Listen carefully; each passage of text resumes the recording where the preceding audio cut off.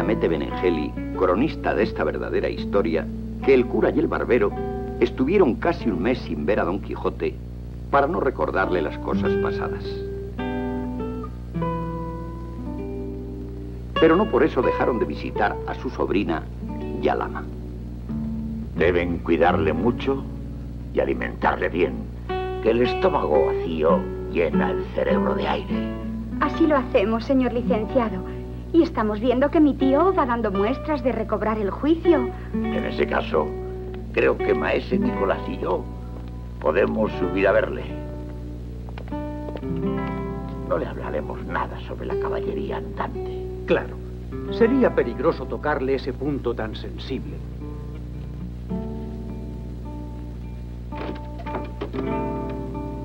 Buenas tardes tenga, don Alonso Quijano. Adelante, amigos. Su merced tiene mejor aspecto que la última vez que le vimos. Tengo más ánimos que entonces. Y eso es bueno, porque la tristeza perjudica a la salud y acarrea la muerte. ¿Conoce vuestra merced las noticias que han venido de la corte? Se anuncia alguna reforma de las costumbres, porque ahora triunfa la pereza de la diligencia, la ociosidad del trabajo y la arrogancia de la valentía, que solo resplandecieron en la edad de los caballeros andantes. No es eso. Se asegura que los turcos vienen con una poderosa armada y no se sabe su designio ni a dónde descargarán tan gran nublado. Y con este temor aguarda toda la cristiandad. Su Majestad ha mandado reforzar la defensa de las costas de Nápoles, Sicilia y la isla de Malta. El rey ha hecho como prudentísimo guerrero para que no le encuentre desprevenido el enemigo.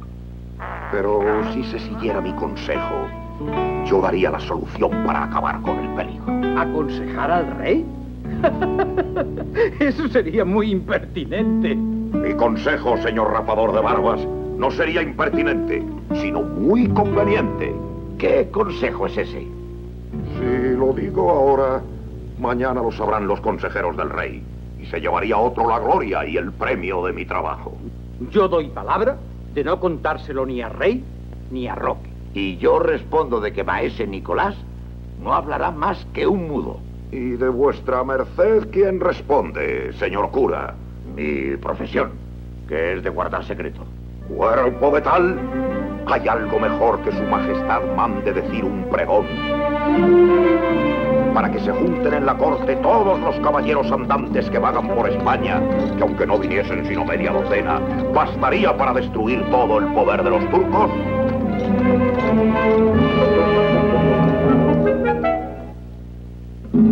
Ay, que me maten si mi tío no quiere volver a ser caballero andante.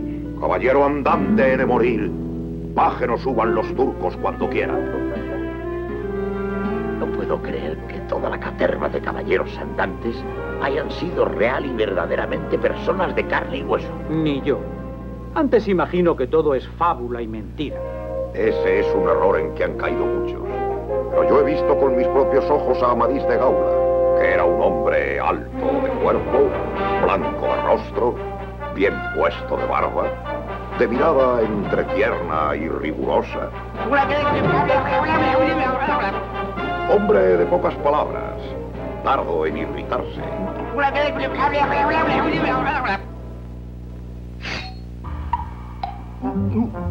¡Oh, no, no, no! Y pronto en deponer la ira.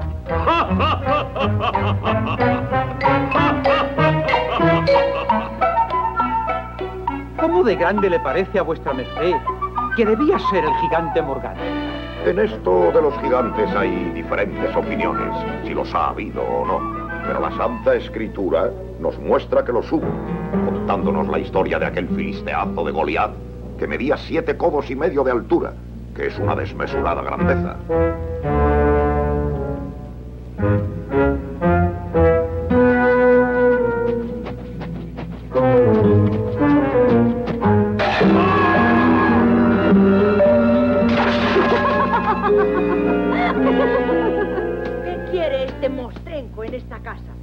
Vete a la tuya, que tú eres el que distrae y sonsaca a mi señor y le lleva por esos andurriales. ¡Ay, ay, ay, ay! ¡Ama de Satanás! El, el sonsacado, el distraído y el llevado por esos andurriales soy yo. ¡Ah! ¡Ah! Que no tu amo, que él me llevó por esos mundos al sacarme de mis casillas, prometiéndome una ínsula que aún espero. ¡Ay, ay, ay, ay, ay! ¿Qué son ínsulas? ¿Es alguna cosa de comer? Golosazo, comilón. No es de comer, sino de gobernar. Con todo eso no entrarás aquí, saco de maldades y costal de malicias. Vete a gobernar tu casa y a labrar tu tierra y déjate de ínsulas ni ínsulos. Sobrina, ama, cese la pendencia y dejad que Sancho suba a verme. Pero tío, ¿va a recibir a este mostrenco? Sí que le recibiré. Franqueadle el paso.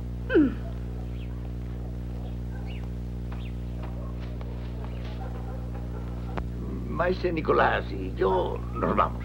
Vuelvan cuando gusten vuestras mercedes.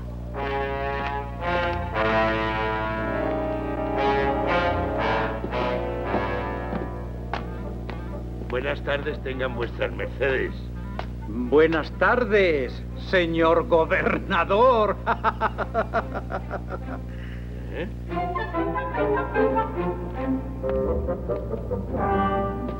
Cuando menos lo pensemos, nuestro hidalgo volverá a las andadas. Sin duda. Pero no me maravillo tanto de su locura como de la simplicidad de su escudero. ¿Qué tan creído tiene lo de la ínsula que no se lo sacarán de la cabeza cuantos desengaños puedan imaginarse?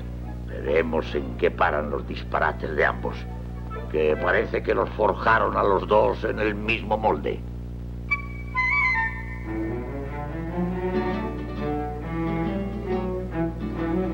Mucho me pesa, Sancho, que hayas dicho que yo te saqué de tus casillas, sabiendo que yo no me quedé en mis casas.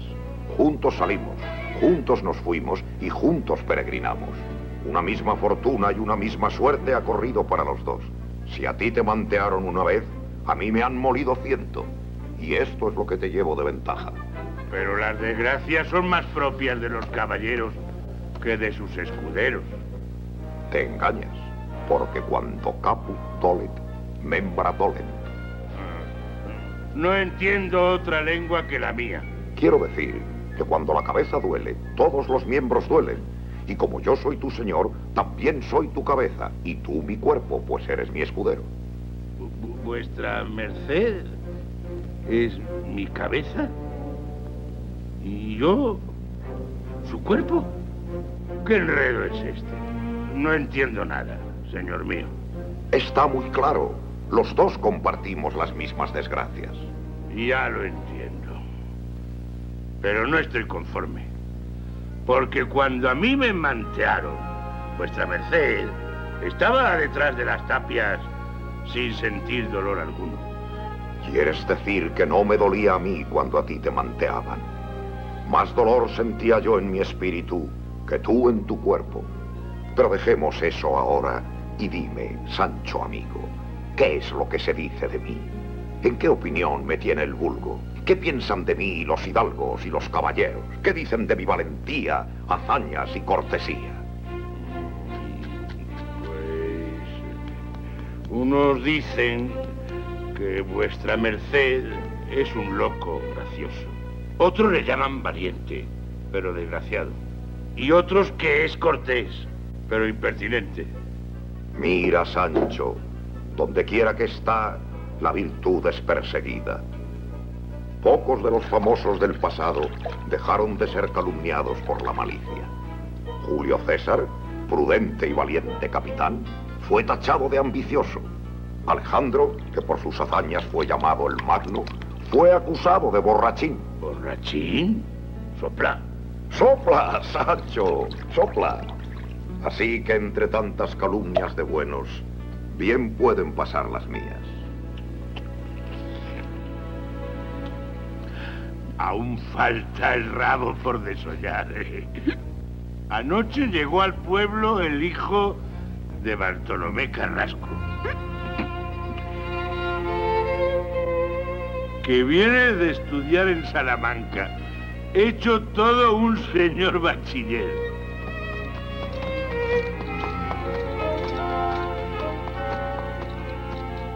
Y yéndole yo a dar la bienvenida, me dijo que andaba ya en libros la historia de vuestra merced. Tengo aquí uno con el título de El ingenioso hidalgo Don Quijote de la Mancha. Y en él te nombra a ti, Sancho Panza, y a la señora Dulcinea del Toboso. Debe de ser algún sabio encantador el autor de nuestra historia, que a los tales no se les encubre nada de lo que quieren escribir. El bachiller dice que ese historiador se llama... mm, Cide Amete Berenjena. Ese nombre es de moro. Así será, porque he oído decir que a los moros les gustan las berenjenas. Cide es nombre arábigo, que quiere decir señor. Pero en lo de berenjena me parece que te equivocas. Bien podría ser. Pero si vuestra merced quiere que traiga el bachiller, Con placer, amigo. Que me tiene suspenso lo que me has dicho. pues voy por él y le traeré en volandas.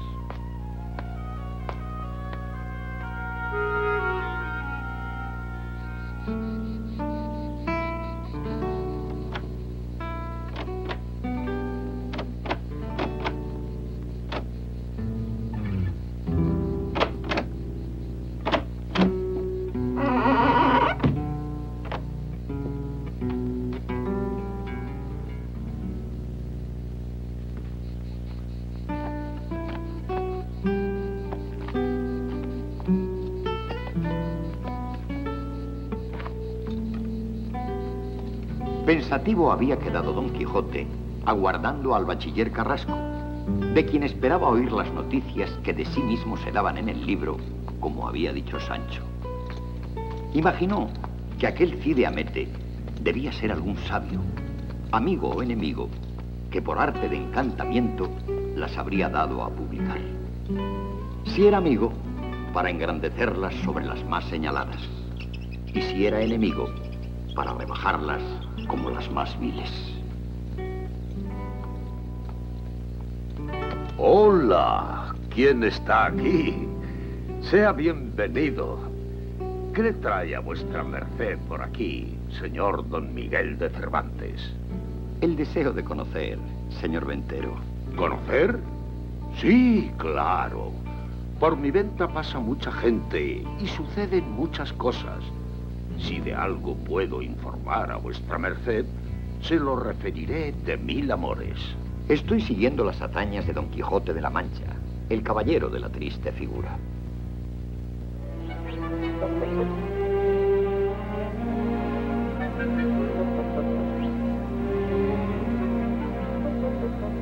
Allí vuelve Sancho Panza. Y viene con Sansón Carrasco. ¿Qué se propone ese enredador para traer aquí al bachiller? Era el bachiller, aunque se llamaba Sansón, no muy grande de cuerpo, pero burlón. Tendría unos 24 años, carirredondo, de nariz chata y amigo de bromas. Volvamos dentro y escuchemos lo que traman esos dos. Sí, vamos.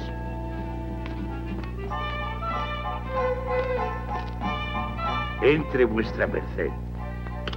Hace mucho tiempo que no veo a don Alonso. ¿Cómo estás, Sancho? Flaco y amujamado, pero tiene la cabeza más brillante de toda la mancha. ¿Su salud es buena? ¡Uh!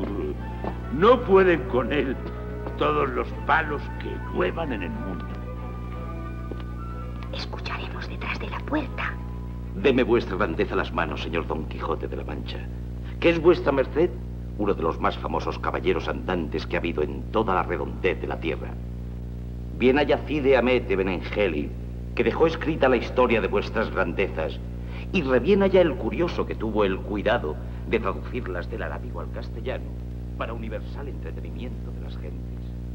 De esa manera, es verdad que mi historia está escrita y que fue Moro el sabio que la compuso. Es tanta verdad, señor, que ya hay miles de libros impresos.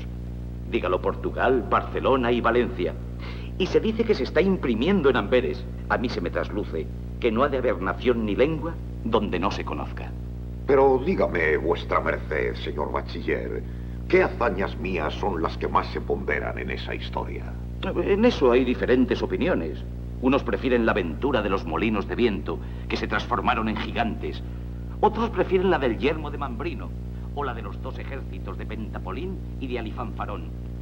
Pero para otros, a todas aventaja la de la libertad de los galeotes, aunque a todos admira la pendencia de vuestra merced con el valeroso vizcaíno. ¡Santo cielo! ¿Cuántos disparates le está metiendo en la cabeza a mi pobre señor ese bachiller, enredador y mentiroso? Promete el autor segunda parte. Sí, promete. Cuando la encuentre. Esos relinchos de Rocinante me parecen un buen presagio. Así que dentro de cuatro días haré otra salida. Oh. Voy a decírselo a Teresa, para que vaya haciendo los preparativos. Pero dígame, señor bachiller, ¿por qué parte debo empezar la jornada? Em, pues mi parecer es que se dirija al reino de Aragón y a la ciudad de Zaragoza, a donde se han de celebrar unas solemnísimas justas por la fiesta de San Jorge, en las cuales vuestra merced podrá ganar fama sobre todos los caballeros aragoneses, que será ganarla sobre todos los del mundo.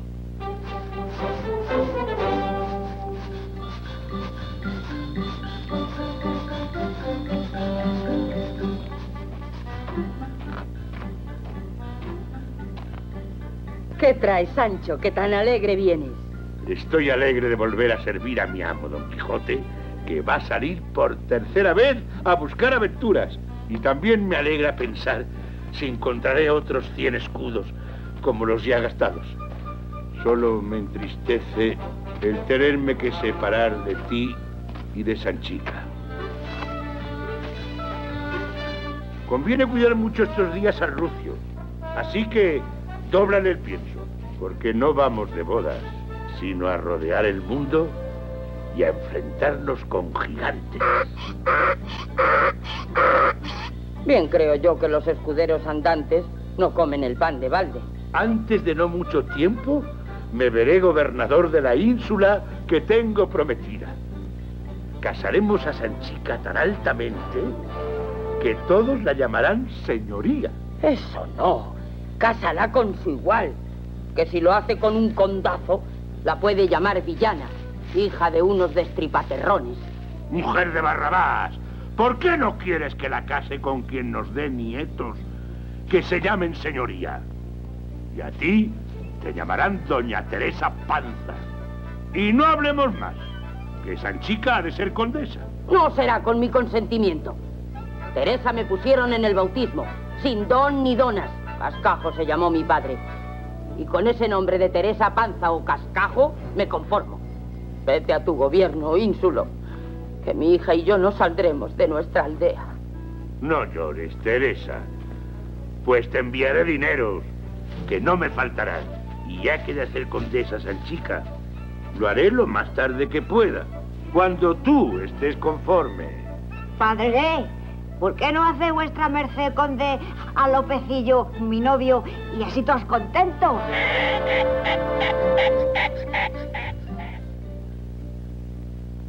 No estaban ociosas la sobrina y el ama de Don Quijote, pues sabían que su tío y señor quería volver al ejercicio de la caballería andante.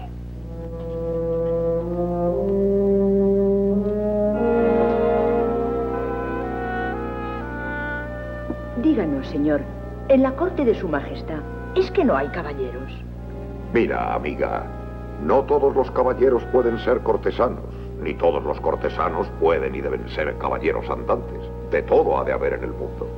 Porque los cortesanos, sin salir de la corte, se pasean por todo el mundo mirando un mapa, sin padecer calor ni frío, hambre ni sed. Pero nosotros, los caballeros andantes, al sol, al frío, a las inclemencias del cielo, de noche y de día, medimos toda la tierra. Y habéis de saber que el buen caballero andante, aunque vea diez gigantes que con las cabezas pasan las nubes, no le han de espantar en manera alguna. Antes, con gentil continente y con intrépido corazón, los ha de acometer y embestir. Ah, señor mío, todo eso que dice de los caballeros andantes es fábula y mentira. ¿Cómo es posible que una rapaza ignorante como tú se atreva a censurar las historias de los caballeros andantes? ¿Cómo puede creer vuestra merced que es valiente siendo viejo, que tiene fuerzas estando enfermo y que endereza en tuertos estando por la edad agobiado? Y sobre todo, que es caballero cuando solo es un hidalgo pobre. Al caballero pobre no le queda otro camino para mostrar que es caballero sino el de la virtud, siendo afable, bien criado, cortés y comedido, no arrogante ni murmurador, y sobre todo caritativo. Dos caminos hay por donde pueden los hombres llegar a ser ricos y honrados. El uno es el de las letras, otro el de las armas. Yo tengo más armas que letras. Así que me es forzoso seguir por su camino. Y será inútil convencerme de que no quiera yo lo que los cielos quieran. En aquellos días, Don Quijote y Sancho se aprovisionaron de lo más conveniente. Y habiendo contentado Sancho a su mujer y aplacado Don Quijote a su sobrina y a su ama, al anochecer, acompañados del bachiller, que quiso ir con ellos media legua del lugar, se pusieron en camino del Toboso. Don Quijote sobre su buen Rocinante y Sancho sobre su Rucio. Ruego a vuestra merced que me avise de su buena o mala suerte, para alegrarme con esta o entristecerme con aquella, como piden las leyes de la amistad. Así lo prometo. Adiós, amigo. Adiós, señor bachiller. Buena suerte.